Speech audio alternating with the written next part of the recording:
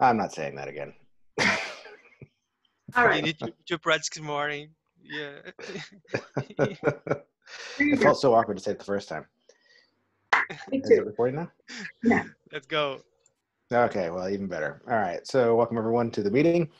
Um, there is a jam-packed agenda. These get, these agendas are getting longer and longer, but the hours are not getting longer and longer. So we'll see how much of this uh, we get to. If not, we'll uh, go to the next week. Um, as always, always better too much than too little. So um, just as a release uh, status, we mentioned last week that um, the new version of the CA had gone out.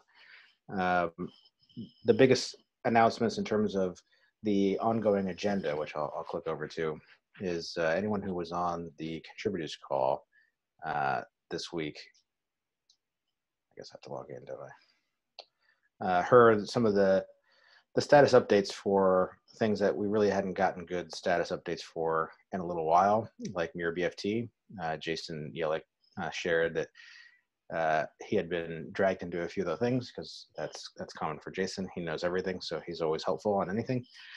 Um, but that work is continuing along, and uh, I don't know if you know uh, better than I do, Pam. I'm sorry, I know you're taking notes, but um, was there a date put on that? Do you know the No. BFT work? No, he was. I, I think he mentioned he was supposed. He was hoping to have something, something ready by the end of the quarter. But I don't know that Yeah, deliverable or consumable or, but whatever he was working on. yeah. So I mean that's good. I mean this has been on the. I mean, as I mention every week, 33. I mean that's like a you know buffalo nickel. It's pretty old. So um, it'll be good to see you know how that's going to look. Uh, I'm excited to see uh, how that um, how that'll turn out because there's some, exciting performance based um, enhancements there in addition to additional security. Uh, so the channel participation uh, API, I think this work is going pretty well. Um, uh, as, you all know, this basically allows, uh, I don't know if bypassing is the right word, but you don't have to use a system channel anymore. The interesting thing as far as this group's work will be is how we choose to kind of doc this is, you know, are we going to recommend the system, you know, the participation API over the system channel? Is it just going to be two different options? You know, crucially, will the samples, you know, you know, with the test network, which one will the test network do? Will there be a second second network? I think a lot of these decisions have yet to be made, and you know, um, maybe the, even the discussions haven't started. Um, so when I get to the end of this, and we can maybe mention that, or we can put that on an agenda for a future time. But I think it's worth thinking about how we choose to doc this as uh, and where it will sit in a recommended process, perhaps in samples. Uh, so the transaction library, as you all know, basically simplifies channel configuration updates uh, and presumably uh, creating Genesis blocks and things like that. The uh, deployment guide, we have these meetings every Thursday or every Thursday when we're all around. Um, we've started kind of focusing on the peer. Uh, Dave Enyart put together a, a quite excellent uh, Google Doc uh, where he talked us through a bunch of the most important config parameters. And so that was really exciting to see that and to be studying that. And so that work I think is going pretty well. Um, you know, we have a turnaround on these of a couple of months, so we'll see how quickly we can get this one kind of in. Um, so the samples, that's an agenda item for later in the meeting. If you want to give, you know, the 15 second version of that, Chris, I know you're kind of on those meetings and I'm not. Yeah, so the big news this week, the 15 second version is, is that the write your first application tutorial has been almost completely rewritten. About 90% of it had to be rewritten to reflect the new um, basic asset transfer uh, application interaction with the, the uh, associated chain code. So uh, that's Oh, what wow. we'll be So this this is like a makes me nostalgic because that was the second doc I worked on when I when I got this job. I have the privilege of writing it, and other people have contributed to it since then, and I have to make another minor uh, commit to it today. But the the gist of it is is that I laid it out how I how I found it most effective to learn it from a user perspective instead of a you know a really experienced dev perspective. Mhm. And uh, and what I did was I have it, and I'll show this later when I share the screen. is we show the application code for the JavaScript application and then in snippet form. And then right below that, we show the associated chain code function snippet that it actually calls and then what the expected terminal output should be when the application runs. Um, that way, as the user steps through it, they know exactly what they should be looking at and how it interacts with it, with it how the application interacts with the chain code. So, yeah, so that's an agenda item. Uh, we'll get into a little bit more uh, a little bit uh, later. So just to, to finish up these last two pieces here, the snapshot and checkpoint. I haven't heard as much about this. It's, it's a very difficult thing to achieve uh, technically because there's concerns about does everyone have to take their snapshot of it uh, or checkpoints at exactly the same block and how do you achieve that? So this is one where I haven't heard as much about it. It's something that everyone wants. It's just about how difficult it is to really achieve it from a technical standpoint. And uh, the programming model work, as far as I know, is going well. Anthony always gives me updates that you know they're optimistic about this. Um, so I don't think anyone on the call really is involved with that intimately. Uh, so that's the basic uh, updates um, as far as uh, development roadmap. Um, stuff that's not on here, you know, the token work apparently still is going. I mean, that's kind of not, as we said, on this list, but we'll see when some of these bigger ticket items like the BFT and tokens and stuff kind of become available. Um, so the next piece here is the Asia Pacific Study Circle. I don't know really much about this. I don't know, David, you this is a one for you. I don't know much about it. Does anyone know? We may be able to skip. I mean, I I do know a little bit about it that it's happening. Uh, you know, uh, they're going through the fabric docs there. Uh, I think it's something that Nina's running. I don't know any detail specific updates for this. I mean, I think it might be something that Anthony was wanting in general to carry over from the Eastern Hemisphere call. I don't I don't know if he, there was a specific update to share. So I think it's probably fine to skip for today. Well, among other things, it seemed like it already happened. Well, they happen weekly. Oh, okay. okay. Uh, all right. So maybe we'll table this and and for the next meeting, I'll try to learn more about this and see what what the deal is. Um, so the next piece here is a Women in Blockchain event. I remember you went to one of these a couple weeks ago or a couple years ago, Pam. Um, there's no link here. Here, I can dig up the link. It, that also just happened recently. It's on the YouTube channel, um, also run by Nina here. I think it was more just an FYI. The, the recording is available. Um, I'll I'll dig that up and put it in the chat. Okay, cool. Thank you. Appreciate that. And then we have our international languages. I don't know if we have anyone who is on uh, the other languages other than you, Renato. Um, but if you guys want to, what the updates here are on um, the languages, I, have seen a, a few of these emails kind of going around. Yeah, uh, this week I I I, I did the, merge. Ben helped me to make to, to did the merge of my last last changes in the the repository, and I I I called uh, um, I I tried to reach out Brett Logan, but they don't answer me about to make the CI/CD of our repositories. I, I don't know what what's happening with with Brad. You know why they are not answer or, or request or something? Uh, I, I don't. If you, you um, if you want to shoot me an email, I can see if I can yeah, yeah. Because last week we talked about to, to start working to to publish the, the language documentation and the, the the integration pipeline that Brett is working. It's it's it's essentially to to do that. So yeah, it's it's, it's important to to check what's happening. Uh, beyond that, I, I inclusive Claudio uh, sent a message in the our chat because yesterday I talked with the Latin American group. They started to work. In oh, there's plenty right there on the bottom. And uh, they created uh, the pull request is six seven, and they need a help to approve to have a baseline of Spanish language in your repository. So if someone else could uh, take a look in this this pull request, it's it could be amazing to to then to to go ahead in the, the process of the translation, uh, the Spanish, Spanish, Spanish translation. Wh- What kind of help do they need, Renato? Just the they, they need to, to to approve because I'm not uh, assigned to approve this this request. I don't know why Russian uh, uh, uh, Chinese is is is is is assigned to approve, but uh, not not uh, assigning also. So I can help them. So if you can can look this pull request uh, and and approve, they can have the the baseline. Uh, uh, released to to working on our repository Yep. Okay, I'll take a look. the same same the same way if you can uh, uh, authorize the the the, the American Latin American people to manage his own branches it's it could be also uh, amazing because they they have about 10 peoples and they can manage it himself I believe Okay, it sounds like Yeah. their own code owners file with um, maintainers in there.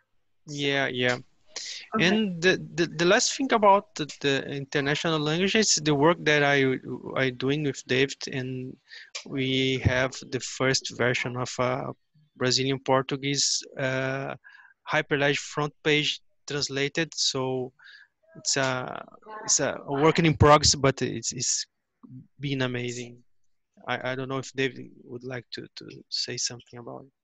Yeah, I definitely. Yeah, thank you, Renato, for providing the, the translation for that. And it is exciting that we're now going to be able to translate uh, the homepage for the Hyperledger site. Uh, I put that on the agenda, don't- to jump ahead a little, but but I think, in my mind, that's a great way for us to make sure that people are finding these, you know, the Fabric docs as we translate them. You know, the homepage gets obviously a lot of traffic, and how do we make, uh, you know, as we make these translations available how do we make sure that people are seeing them? So uh, you know i'm i want to i want to talk uh, about making language specific landing pages on the homepage and then being able to point to language specific resources such as the translated docs so um, yeah thank you renato for helping us do that.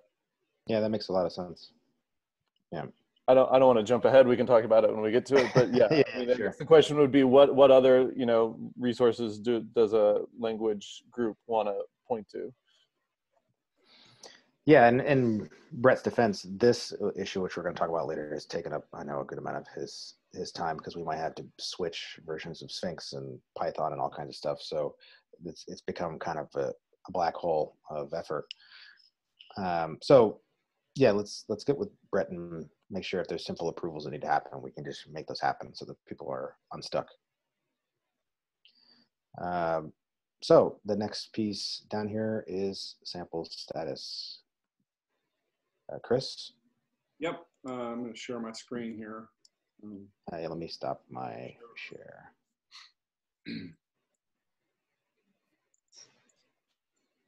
okay. Y'all see my screen there? Yep. Yep.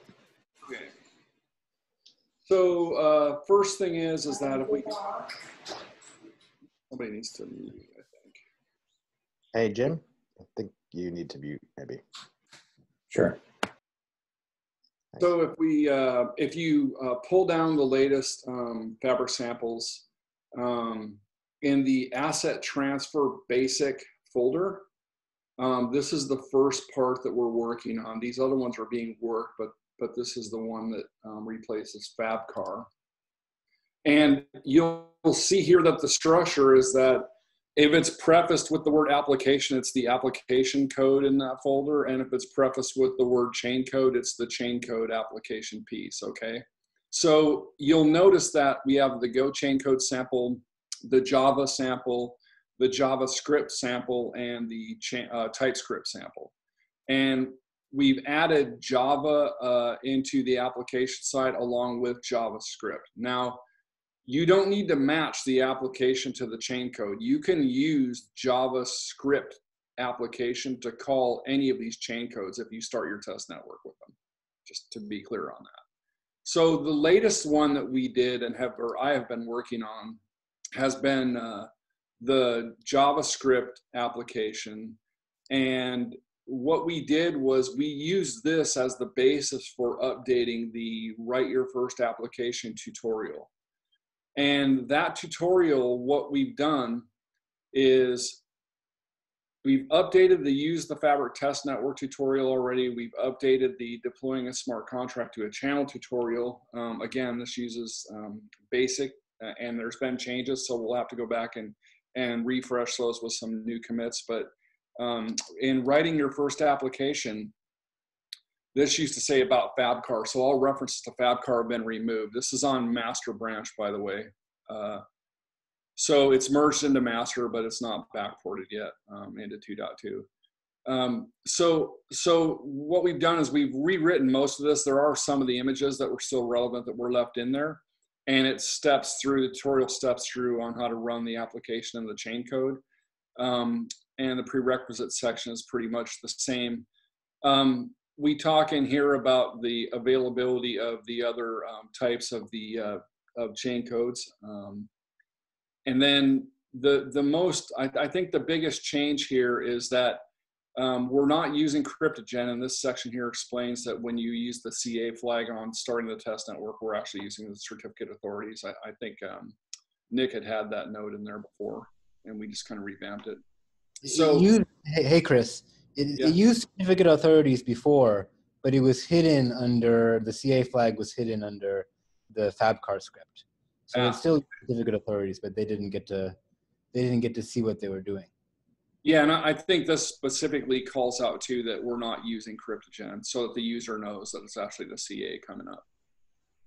Um, and so, so what we're what we're doing here, we leave a note where where we're saying, you know, look, when you when you run this command, this is what's happening behind the scenes. It's using the peer uh, chain code lifecycle to package, install, query, and approve uh, for those orgs. And then it tells you what your expected um, output should look like. You go through the npm install, tells the user what they would see after they did that, their, their package JSON file and app.js, so on and so forth. Um, gives the option to run in a new terminal the CA logs. Um, all this has been tested and it works.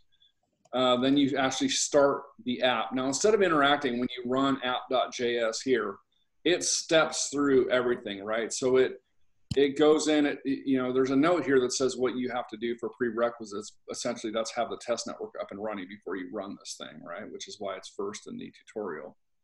But effectively it enrolls the admin registers the user imports the id into the wallet and then it starts running through the corresponding function calls to the chain code. So init ledger get all assets uh, create an asset read check to see if an asset exists update uh, and and read an update and then update where we know that an asset doesn't exist so that we purposefully return an error so that you can see what that looks like.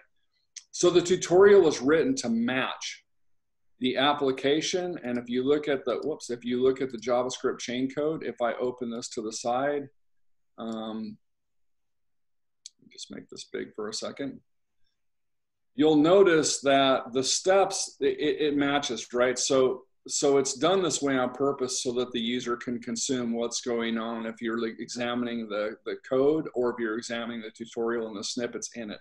So when this calls this um, chain code function init ledger this is what's happening if you look at the chain code. If you go down and you do the evaluate get all assets um, if you go down into the chain code and you see get all assets, this is the function that's being called.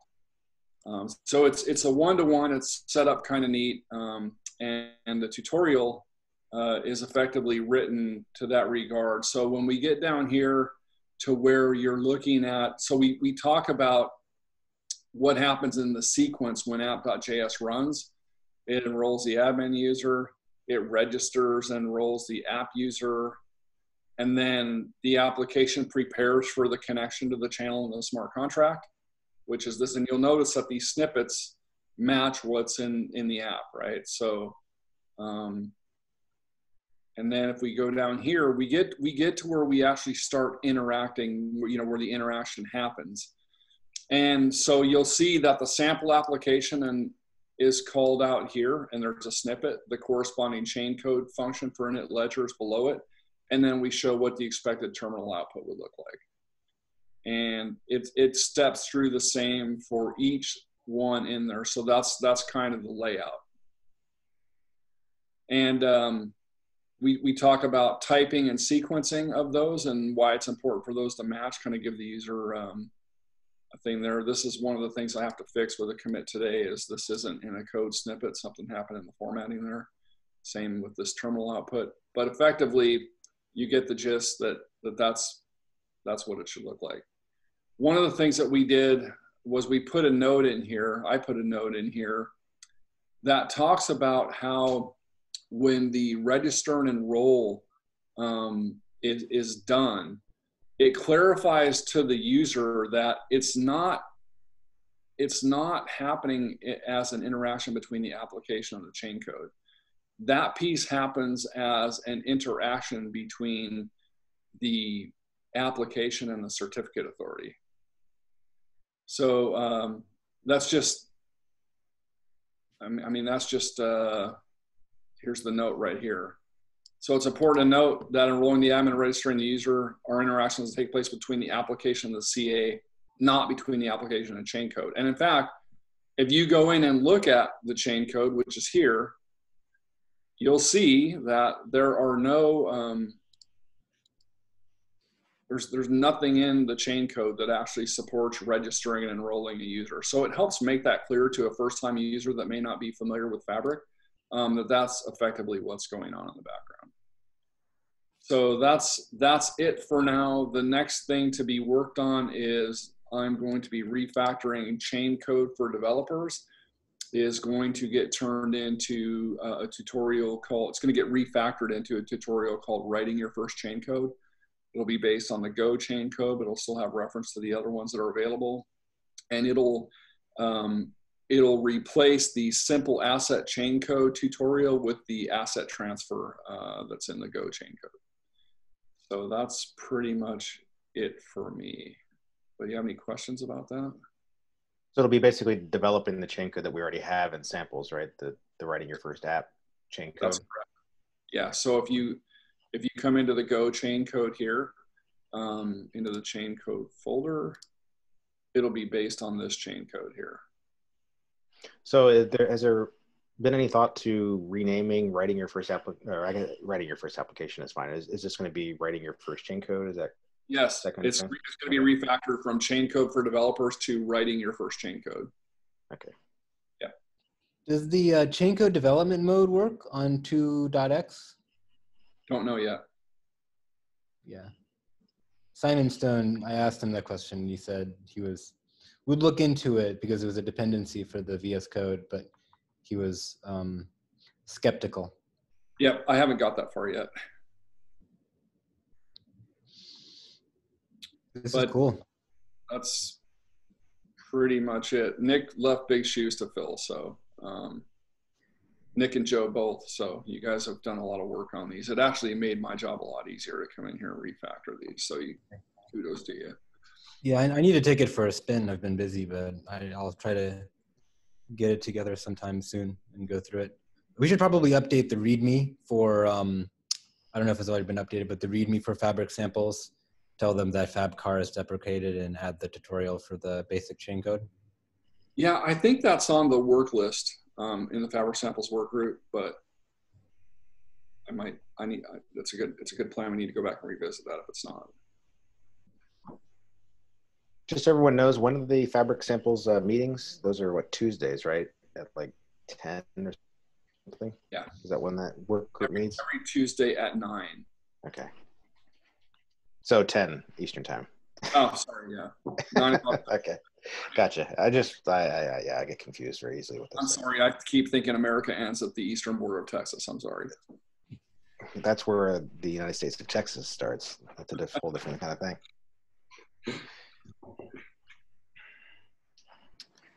Uh, All right. So uh, the next uh, item here is something I remember I mentioned a, a couple months ago. Uh, but now this has kind of become more important with translations uh, about anchors. Um, so, for anyone who doesn't know, the there are no, almost no anchors in the fabric docs as it is. Um, you essentially have to derive the anchor from the name of a section, and it has a standard formatting that it uses to derive those anchors.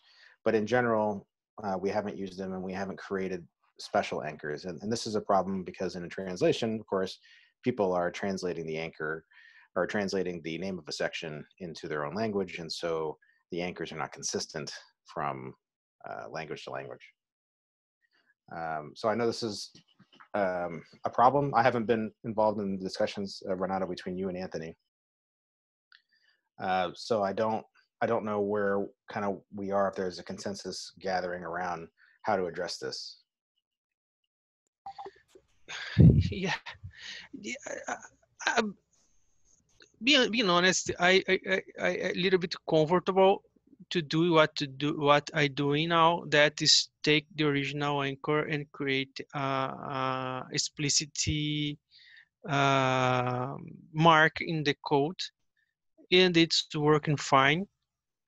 Uh, because in the end of the day, any solution that I can see today, we work uh, he working if if you understand what I, I try to say. So the solutions so you, you, don't you don't think it's, uh, there's no one solution. Everyone's going to have to figure out their own thing. Is what you're saying? Yeah, yeah, but I'm not uh, the, the the the the specialist here. So uh, in my uh, simple point of view or simple way of of see this this problem it's working it's it's working fine i, I create a, a, workflow where i take the the original anchor create a, a, a directive in, in, the content it's working um, it's so one one one just one step more that one one time finish it i didn't need to to rework because uh, i thought in the suggestion of the last meeting that it's put uh, um, an uh, indexed item one two three four that if it, we do that when you update the documentation and create another uh, uh, chapter inside be between two original chapters, you need to index all documentation. Yes. To, that, to, I mentioned to, that to Anthony, you know. Yeah, so it's, it's, it's, it's worse than just I create another anchor and be uh, uh, in compliance with the original documentation. Because if you do something kind of, uh, if you not change the, the title of the, the chapter, it's okay. If, if you change it, the the, the, the, the title, I have a, a, little problem, but it's not big enough. Then need to he, he index all document how the how document to to to make sense for for the future. So uh, yeah, being honest, I, I I'm a little bit comfortable. But if you have or anyone else have any kind of better approach, I I'm glad to to to, to adopt without a problem. Yeah, it's so, a difficult one because ideally, if we had done the right thing from the beginning, or I mean, there wasn't any real need to do it, uh, so we, that's why we didn't. Uh, everyone could have used the anchors that we established in the you know the English version, and that would have been simple for everyone, and then translated the names of sections. But we didn't do that, and it almost feels like it's kind of, you know, the horses have left the barn, so to speak. You know, there's no, I don't know how much of a point and how much of a help it would be. I mean, there's more languages in the world, uh, obviously, uh, yeah. but uh, I wonder how useful it would be to go back through and do all of that right now, whatever standard was adopted, whether numbers or anything else. Yeah, in some some some ways, my work of translation, need to be prepared to do some rework because it's part of my work. Sometimes do a rework as as as uh, uh, and the, having these anchors in. Uh, pointed to the original anchors I believe that in long term is better to backtrack changes, for example. So, um, yeah, it's not a Pacific point. I don't know if. Mm-hmm. Yeah, I mean, to be fair, most of the docs don't get updated that often because the problem, um, I mean, in addition, the worst problem with not having direct anchors is is similar to what you're saying. Is if you edit the name of any section, then it changes the anchor you know, in English as whereas anywhere else. And you know, the the ugliest thing you can do to someone is to break a link for no good reason. It's, broken links are bad, as we'll discuss later if there's time. But you know, so having anchors is good. It's a good practice. It wasn't a practice that we followed, and so I don't know if you know, like, it, are other languages essentially doing the same thing you as you did, is establishing their own anchors, and they're kind of comfortable doing that, or, or is there? Yeah, I don't know. Okay. But uh, after I, I, yeah, just uh, you, you, you use your work of last week, Chris, because the, the work that Chris did in the last week that checked the broken links uh, uh, also works to me because if you have any kind of issue in, in bro about broken links, I can uh, process like Chris did in the last week and and and and fix those broken links. I believe I, I, I is is is better create a, a, framework to to support this this problem than to to create another another approach yeah. maybe. I agree with you, Renato, and the reason why is because um, it there's we have more than just the anchor problem. The the anchor problem is derived from changing titles and languages, as you pointed out and Joe did. The other issue is because we have a mix of restructured text and markdown, um, the procedure for doing that isn't exactly the same. And uh, Joe talked earlier about how um, the, the anchors are derived when the HTML is built based on the, the title, right? Which, which you've alluded to. And um, when you do when you run your local doc build, if you're using the pip file and the and the Sphinx uh, to build your own docs, you get this warning that says this doc doesn't have a title. And the reason it doesn't have a title is because of the change. Instead of doing dashes, it's done with an equal sign now. So in order to make it consistent, we would have to go back and change those anyway yeah. to get doc build fixed. And if we're going to go through the trouble of doing that, as long as we're in there, it it makes complete sense to go standardize on agreed anchors and put those in there, if that makes sense. And to to illustrate that, I actually have that up on my screen right now. Um, if you'll, I guess if you'll let me share, yeah. Joe, for just a brief second. Um, what happens is um, you get this you get this warning here and it talks about how um, something doesn't have a title okay and th- this is in the tutorial source and if and if you went in there and you looked at some of these um, let's just let's just get to a, a heading here that we can just quickly change so you'll see how writing your first application, it has the equal sign, which is repeated underneath of it. Okay. Yeah.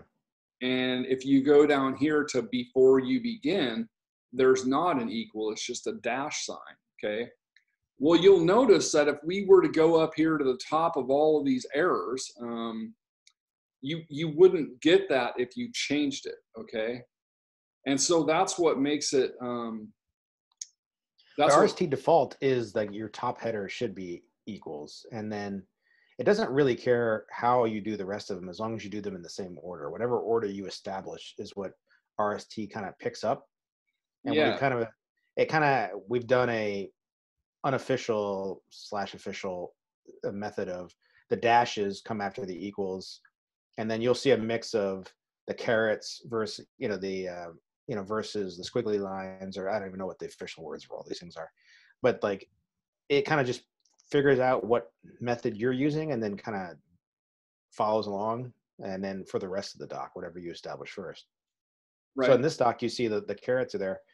More more often than not, when I when I used to do them, it would be a squiggly line would come third. You know, whatever. Well, I tested this, and what happens is if you get rid of the e, the dashes and replace them with equal sign, it takes the error out of the doc build. Well, if you do that, then it shows up in the left talk as an equivalent top line doc. Right. That's right. So, that's why the warning is toctree contains reference right. to a document that does not have a title. Right. Yep. You can only have one equals header in each RST doc. Yeah. So that so actually to get let me just stop the share here and give it back to you. So my point was is that we have more than just the anchor tag problem that's related to this. That's what the point is. And we may have Yeah. additional work to do where we could we could do both at the same time if we were to make the decision to go in there and do it. So you have the consideration of markdown with RST, you have the consideration of a standardized anchor tag, and then you have a consideration of fixing the doc build uh, with Sphinx if you're doing local doc build.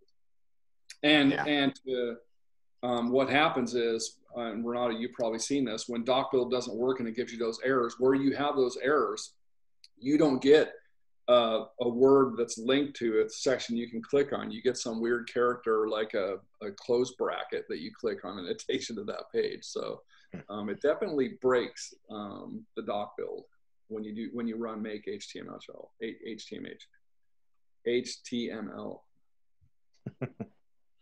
Speaking of things breaking. yeah, this is a sticky one because you know obviously no one likes to go back and and redo old work. Um,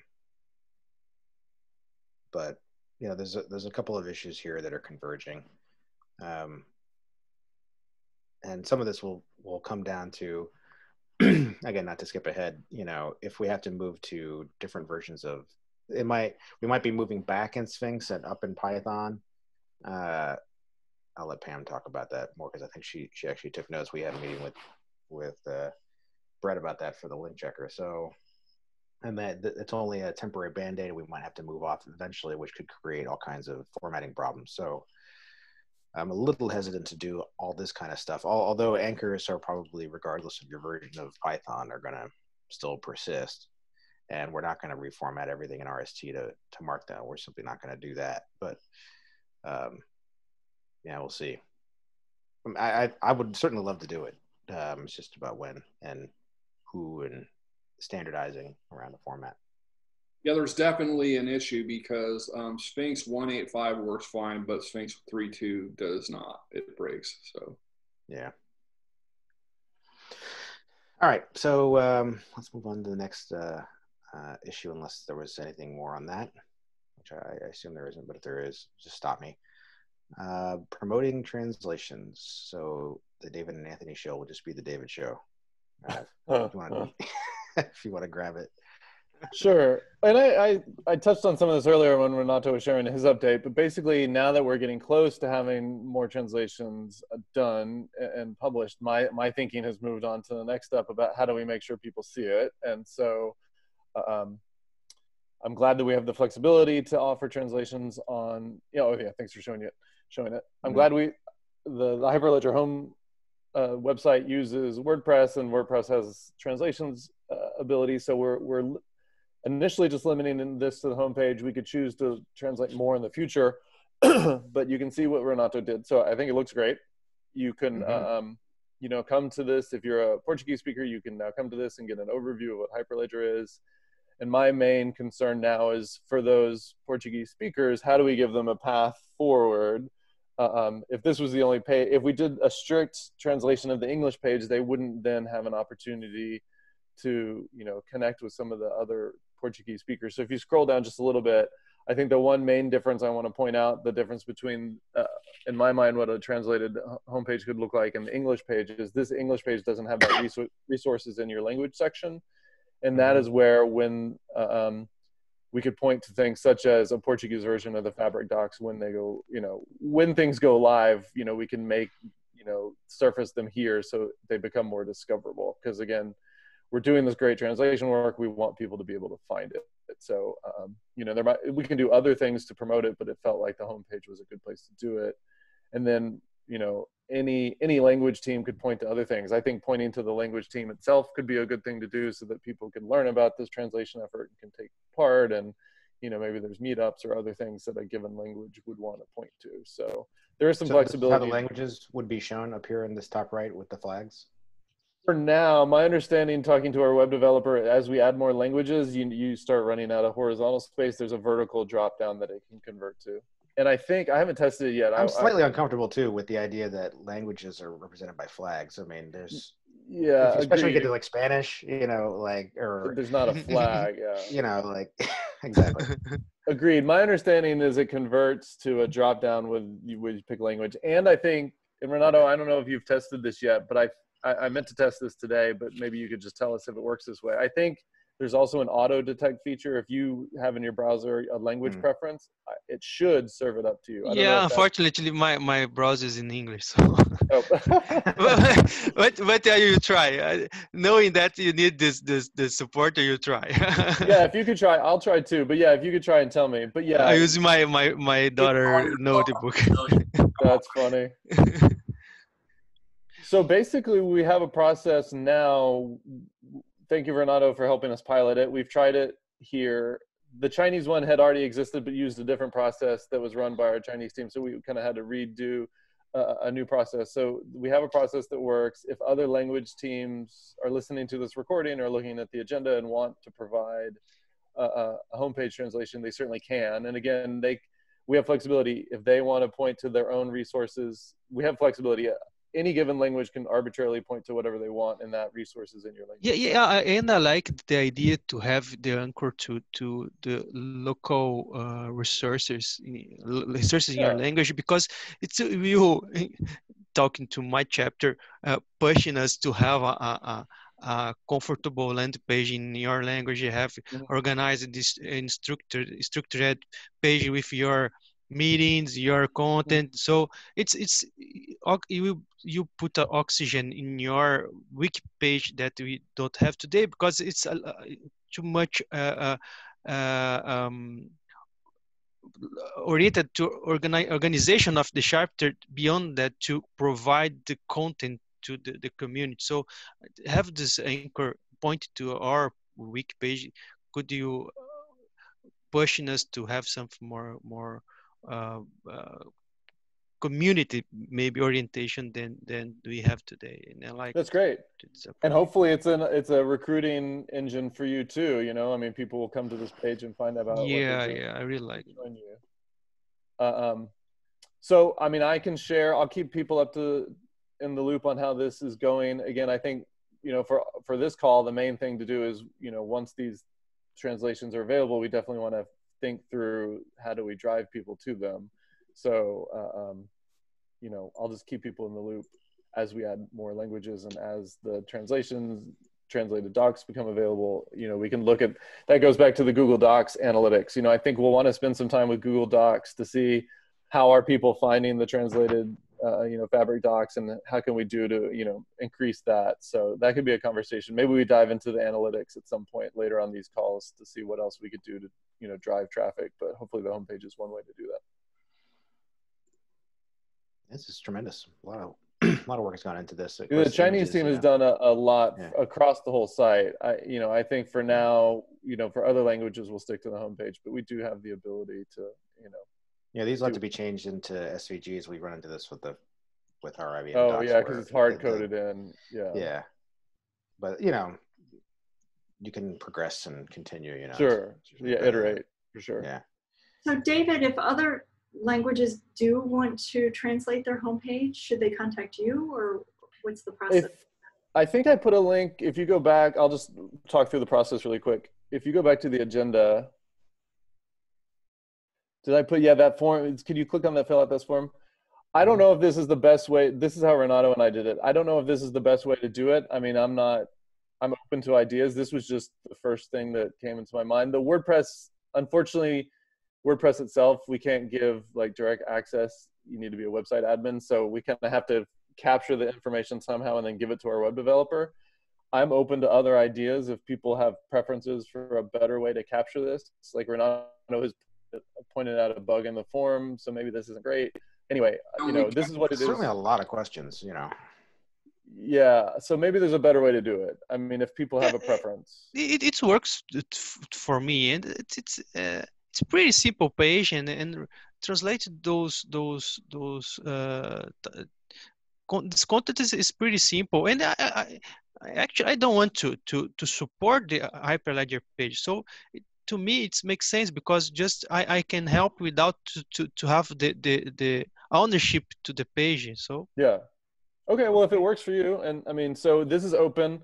If other uh, um, languages like you know whatever Russian, Spanish, whatever want to try it, there's certainly it, this is live. We can take yeah I, I believe when i need to make some some changes in the translation i i i, I submit again the, the, the, the, form and you have another version, compare and, and place something like that. So yeah. it's, it's simple and functional.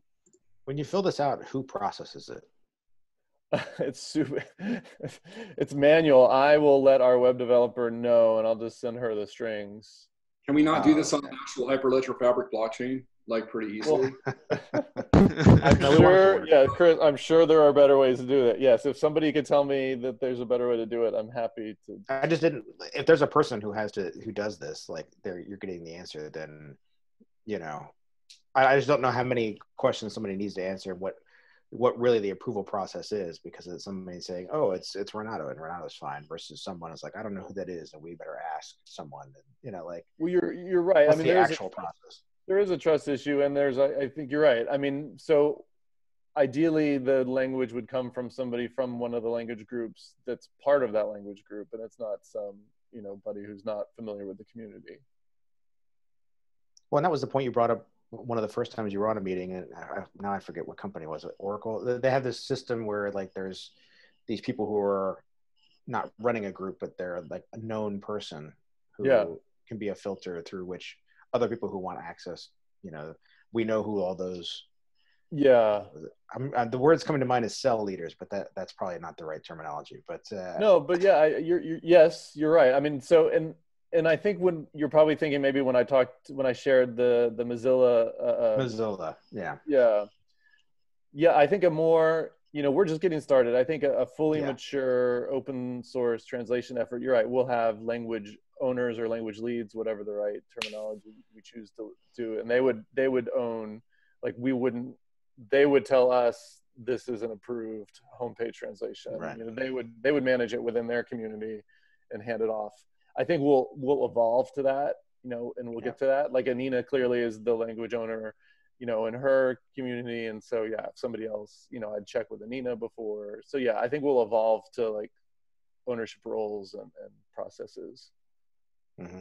You know, Renato clearly is the lead. You know, I mean, I think we kind of informally have a sense of who you know is the lead for which language, but. Well, Renato is the CEO of Hyperledger, is he not? Yeah. if not today, then someday soon. yeah, and, and, sure, clearly he speaks for you know, you know, he's. I know that yeah. Renato is well connected to the community in Brazil, so yeah, I mean, we yeah, but it's more informal today than than probably it will get formalized over time. Yeah, yeah, yeah it makes sense. I mean, obviously, it's just uh, thinking long term about what the best processes are. If people, mm-hmm. this is working for people now, then that's great considering how relatively new this all is. Yeah, yeah, yeah. I mean, I think yeah. What's the what's the open source thing about minimum viable governance? I think we'll kind of add add the governance as we need it. Yeah, I've heard that term before. I always love how long it is. Like it's minimal. this is one of those, but I, I can understand the concept. You know. Uh, all right, so uh, this is really nice that people are. You know, the translations are extending kind of beyond just the docs themselves and kind of getting on these landing pages because you know that's a big part of you know somebody who is like ah well I'd, I'd like to be interested in hyperledger i've heard of it you know they might not know that there are docs in other languages but if the landing page exactly. languages that might let them yeah them i don't think the yeah, yeah, i don't think the uh, i don't think a translated doc can live on its own without the larger you know ecosystem right. also having yeah people don't even get to the doc to find yeah out. exactly yeah. there has to be a path there has to be a pathway to get them there yeah. right well, we have a few minutes uh, left, and we probably have time for either the broken links or the analytics. Pam, do you have a preference? Um, I don't have a preference. Um, I guess it'd be up to the other people on the call what they're more interested in hearing about. Yeah, that's fair. Broken links.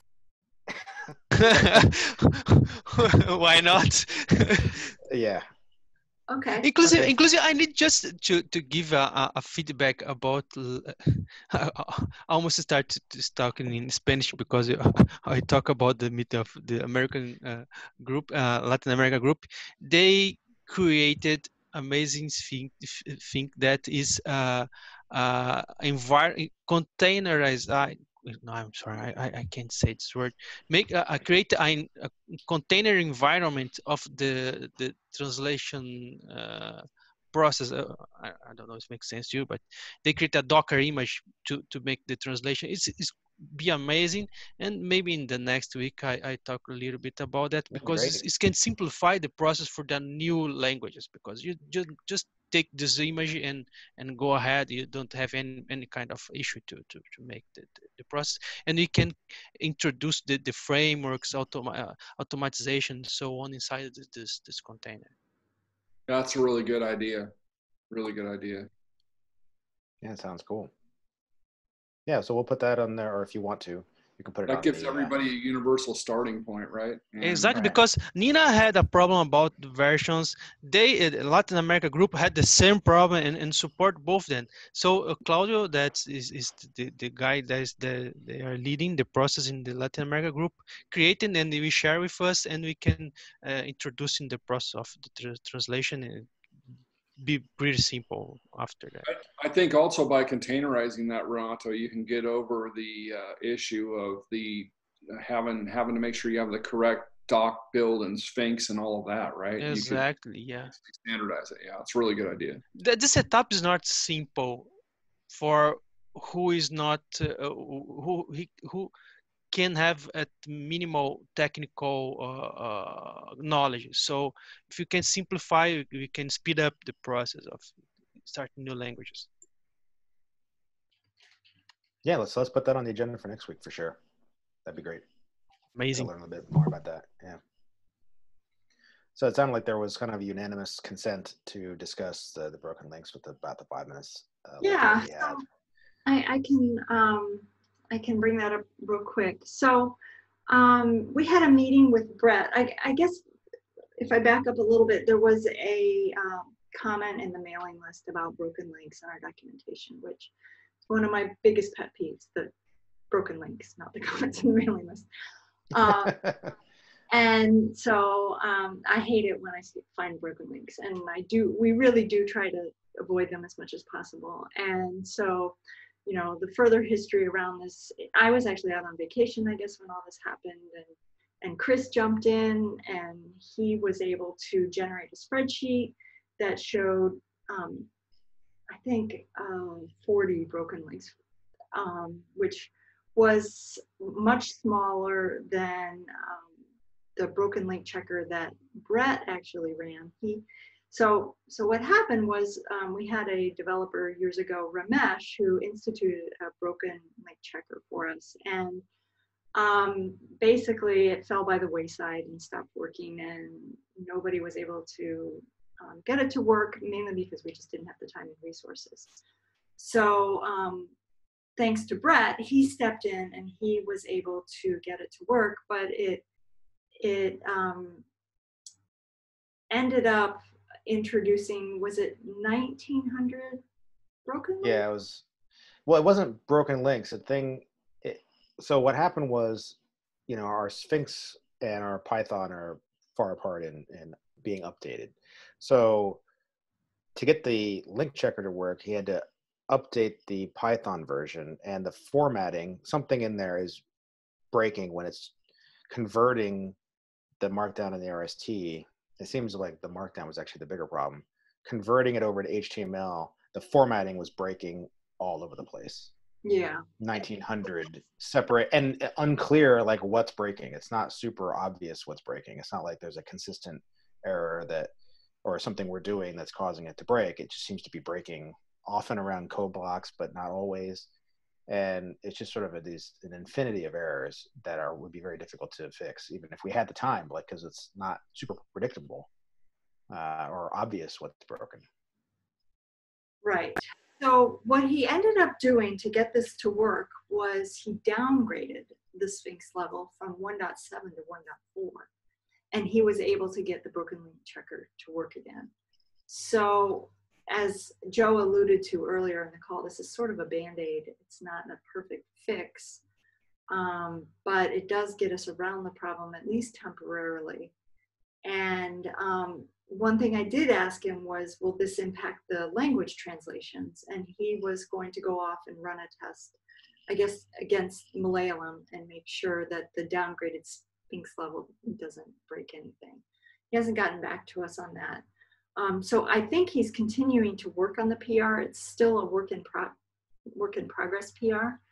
Um, but we're hopeful that this will um, at least get us um, a, a, way of flagging broken links. Um, as part of that PR, he did fix all the broken links. So once this is merged, um, the 40 broken links that were in Chris's spreadsheet will be fixed. Um, so that's good news. Um, but the only ones that are left are ones that are example, like non-broken broken links. So, so if you have any any example, you know, HTML of like your name here or whatever, then those will still show up as broken links in a broken link checker, but they're not actually broken links. Right. So going forward, the process will be that when you um, submit a PR and it does the build, it will flag any broken links that are in the content, which is nice. Um, I, yeah. I think that's great. So then we can go fix them, or at least open it up and say, okay, what are the broken links? Oh, that's you know that's an example. That's a false, false positive. You don't have to worry about that one. It's not going to block you from merging the PR. You can still merge the PR with broken links, um, which you know obviously we don't want to merge PRs with broken links. But if there are cases like that, um, you know you can still merge the PR. But at least it gives us um, more headlights into broken links um, as the PRs are being generated. And so hopefully this will help with the language translations and the anchors too for Renato. And if yeah, you're able if you're able to use Sphinx to do a local doc build, you can actually test the URLs before you push. Right, and, and we all should be doing that. But you know, sometimes content's really long. You can miss things. So this is just a secondary check, which is great. It, so you'll see it in the PRs in the doc build. Um, there'll be a little um, line now under the doc build that says broken links failed or something like that. So, so yeah, the, the basically two parallel pieces of work, right? This is the getting the link checker to work in the short term, and then long term, upgrading Python and upgrading the versions that we're using in a way that doesn't shatter the formatting everywhere.